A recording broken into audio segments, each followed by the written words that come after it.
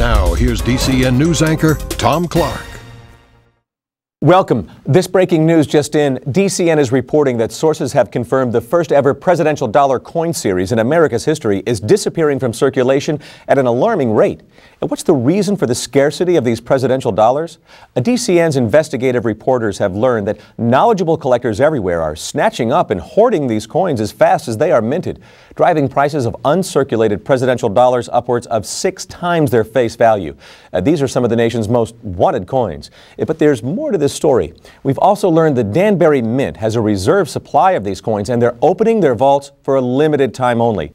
Coming up, we're going to show you how to get your fair share of these disappearing dollars at a fraction of the price other collectors are paying. So stay tuned. But first, let's bring in DCN analyst Chris Holliday, who's been following the presidential dollar story from the start. Chris, when and how did this collector frenzy begin? Tom, it all began back in 2007 when the United States Treasury launched this landmark series. This is the first dollar coin series ever, and it's the first ever presidential coin series in America's history.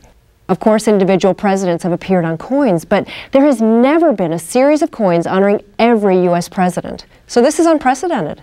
But how is it possible for these presidential coins to literally disappear? I mean, can't the Treasury just mint more?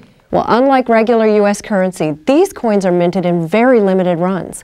Only four new coins per year are released in order of presidential service. And when their mintage is up, usually in just a matter of weeks, they'll never be produced again.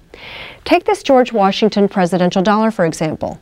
This is the first dollar coin in the series honoring our first president. It was issued in 2007, and minting has long since ceased. Now, some people believe the scarcity of these coins will make them one of the biggest collector items of the century, which is why you'd be hard pressed to find any George Washington dollars in circulation today. So, what do the collectors know about these presidential dollars that we don't?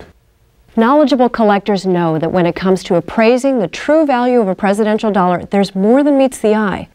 That's because only uncirculated coins like these, in gem brilliant condition, will retain the greatest worth. This explains their rapid disappearance and why most of the public has yet to set sight on even one of these golden coins. That's for sure. Chris Holliday, thanks for the informative report. Coming up, we'll